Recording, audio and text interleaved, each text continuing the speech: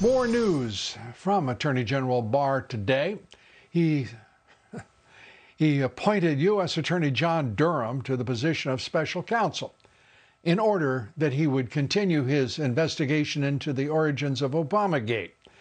Uh, but apparently he did this earlier. He's just now announcing it.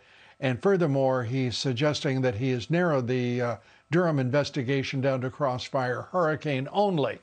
Uh, the Durham investigation can now proceed uh, no matter who is in the White House. Uh, it didn't matter before, did it?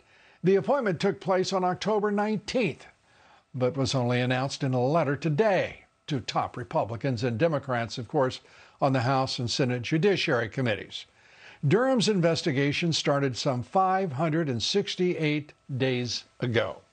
It appears it is not over.